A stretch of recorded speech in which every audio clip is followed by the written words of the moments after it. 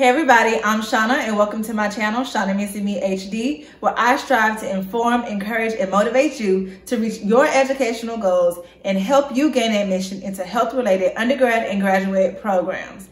And today we are talking about medical school, of course. The question is, how much does it cost to become a doctor? Uh, don't get me started. But before we get started, you guys know what to do if you haven't done it already. Go ahead and press that subscribe button and make sure you click the notification bell so that you're the first to know when I release the next video. So before we get started, I want to give a quick update to my current subscribers. Guys, I know I have not posted a video in like two months or something like that, right? It has been so long and I have been completely overwhelmed and super busy and tired trying to balance residency, balance, you know, being a mom, and then also balance these projects that I have coming up for you guys. So I'm currently working on a couple of online courses that kind of pretty much go through everything that I talk about on my channel, everything that I talk about on TikTok, everything I talk about on my Instagram stories or whatever that is going to help you guys know the actual process of becoming a doctor is going to go more into detail and kind of be more uh, outlined or in an organized fashion so that you guys can actually learn this process a little bit better. I'm working on that. I'm also working on launching my pre-med advising program, which is a paid service where I'm going to work one-on-one -on -one with students who need additional help at getting into medical school. Okay, so that's what I'm working on. I know I have been ghost, but I'm going to try my best to keep up with my posting schedule and keep getting this free content out to you guys. So I just want to go ahead and kind of give you guys a general overview of what you need to consider as far as expenses uh, when pursuing medicine. So there are a few things you need to think about. Okay, so obviously education, right? College and medical school cost. You have to think about that that's probably the biggest thing. But there are some other expenses that you need to consider that aren't really emphasized, okay? So the things that you need in order to do well in college and medical school. So I'm referring to your books and subscriptions online that help you study, things like that. That also costs money. Okay, the exams that you have to take to get into medical school and throughout medical school and residency and even after residency also cost money. All right, so those are additional expenses. Interviews and applications are an expense that people really don't consider, okay? Applying to college is one thing. You don't have to spend that much money. Some people actually end up applying for free because there are a lot of uh, fee waivers out there and available for students who qualify. But when it comes to medical school, it's a little bit different. Um, I'm not sure there's anyone who was able to apply to medical school without paying anything, okay? So there are fee assistance programs out there and special programs that help you cover those costs but they are still expensive. So we'll talk about some of those costs so that you guys can get a better idea of how much it actually costs to become a doctor. So let's get right into it. I'm gonna start with college and medical school tuition and uh, living expenses. So I picked out three schools that I hear people talk about all the time. First, I'm gonna start with Texas. I'm gonna actually start with um, the University of Texas at Austin, which is one of the public schools, and just go over their cost of attendance. I'm glad that I started with this one because it shows you here how they determine the cost of attendance. They take into consideration your living expenses plus your tuition, and that's how they know how much they actually need to give you guys with financial aid. So let's look at the cost. So we're looking at about 20 to 30,000 for in-state residents. So people who live in Texas will pay between here, depending on if you live on campus or off campus or if you stay at home with your parents. So as you can see, this room and board, there's a big difference between the two. So if you stay at home with your parents, you're looking at saving about $10,000 a you know, a year. So that means that's a big difference. And then you compare those totals to a person who is not a resident of Texas. They end up paying a lot more for tuition, all right? Let's compare this college to, uh, what is this, Drexel undergraduate program. And they don't break it down like UT did, but they have here for tuition and fees, room and board, you're looking at, uh, let's see, 53 plus 2 is 55 plus another 16. That's about $70,000, give or take, uh, for one year at Drexel's undergraduate campus, okay? And they don't have um, an amount for in-state or out-of-state that I see. They may have one on here, but I'm not gonna search too deep for that. But just to give you guys an idea of how much it actually costs between a Texas program or a Texas college, uh, Drexel, which is in Philadelphia, And also let's look at Yale because a lot of people love Yale. So this is Yale University, and this is also just applying to their undergraduate program for a regular bachelor's degree. You are looking at about 75000 for the year um, if you enroll in their, probably in person maybe, for one full year versus a remote, uh, versus being enrolled remotely for a year. But regardless, both of these prices are pretty high.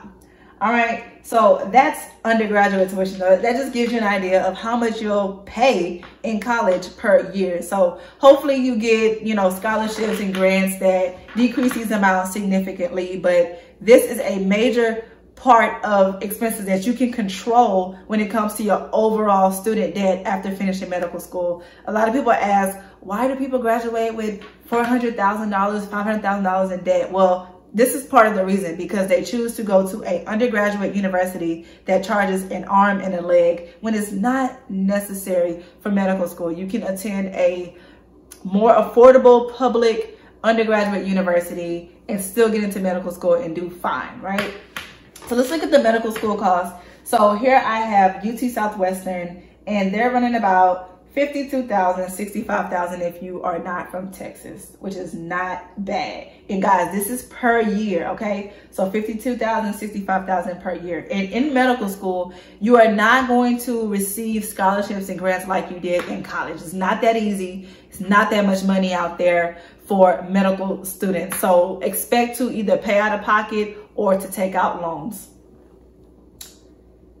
Here is Drexel's Medical School. Um, so the tuition alone is 58000 So let's just round that to 59 And then here's your room and board down here. Let's round that to about 15000 So just with the tuition and room and board, you're looking at $75,000 a year, plus these other small fees, probably rounds to about 80 something thousand dollars for one year at Drexel University.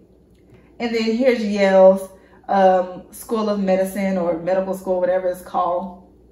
And as you can see here, tuition alone is $65,000. And then, you know, your room and board, $20,000. You know, that is, what's the total? Total is $95,000 for one year at Yale. So that is how much you spend on college and medical school education alone. Those costs can be reduced significantly if you qualify for grants and scholarships. But to give you guys an idea of how college and medical school uh, tuition and living expenses contribute to the overall cost of becoming a doctor, that's a huge portion. So now let's talk about some of the other expenses that aren't emphasized as much. So when you're in college, um, a lot of you guys try to get away with not buying textbooks and things like that. But when you are trying to pursue medicine and you're a pre-med major, you likely need to go ahead and spend the money and buy the books that are going to help you get those A's, help you study well for the MCAT, help you do as good as you can in your classes so that you get good letters of recommendation, you have a strong GPA, etc. Okay, so books and subscriptions that actually help you study well cost money. I would say you'll be paying anywhere from couple hundred dollars a semester to $2,000 a semester, depending on how many books you need, what year you're in, and what subscriptions are required to study. Another cost that people don't talk about a lot are how much it actually costs to take these tests, right? So we know a huge one is the MCAT. And right now the MCAT is about $320 to take each time you take the test. Um, that is a lot of money to take an exam, right? Who pays to take tests? Doctors do. Um, but that is nothing compared to what you have to pay later in medical school. So MCAT is $320. But when you get to med school, you start to take your national board exams. So if you're at an MD school, these uh, tests are referred to as USMLE step scores. If you're in a DO school, then these tests are referred to as your COMLEX level one, two, or three exams, okay? So um, DO students may decide to take both exams. I've, that's a thing. I'm not really sure um, if it's required or not, but I know that DO students sometimes take both their COMLEX exams and USMLE STEP exams. But the costs are fairly the same. So if you are a medical student in your second year, you will take either STEP 1 or COMLEX 1 at the end of that year. that test is somewhere around $650, give or take five or 15 bucks, okay? If you are at the end of your third year going into your fourth year of medical school, then you will take step two or COMLEX two, which has two parts. This exam is pretty expensive. So you have a written part that costs about $650 again, and then you have a, a practical portion of the exam, which is done on a, second day, a completely separate day, um, that costs about 1,200 to $1,300, depending on if it's STEP or COMLEX. Now, with everything with COVID going on, these prices may vary. I don't know exactly how they're gonna change the cost of the exam if it goes all virtual versus an in-person exam. Um, but this is just what the information says online. Okay, just giving you guys an idea of how much it costs in general to become a doctor. You have to factor in those tests and that is a huge one. When you get to residency, you then take step three or COMLEX three, and that exam costs about $900, again, give and take a couple of dollars. And then that is also a two-day exam, um, but it's a little cheaper than step two.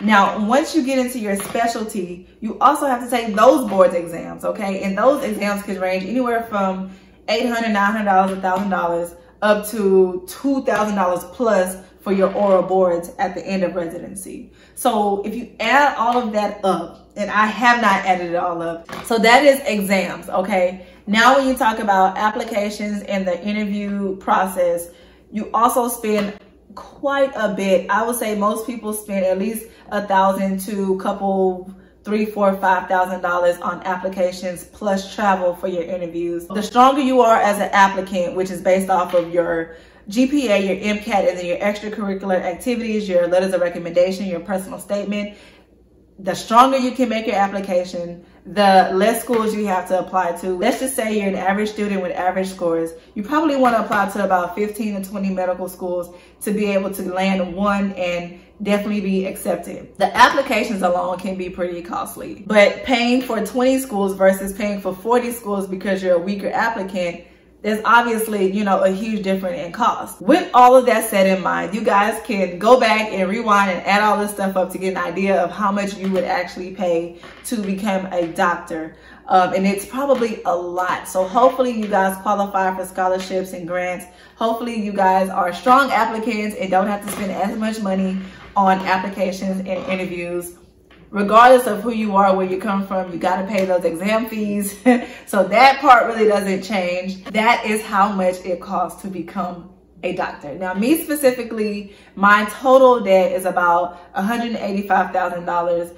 Um, I received a full academic ride to my college, which was Texas Southern University. I didn't pay a dime. When I got to medical school is when I started to take out loans and actually start to collect debt. All of my exams and books and things I tried to pay with refund money or extra money that I had if I had like a little side job or my parents helped me out. So I didn't have to take out many loans for that. I do remember saving some of my loan money that would go toward my living expenses to help pay for some of those tests or help pay for hotels or help pay for applications or whatever.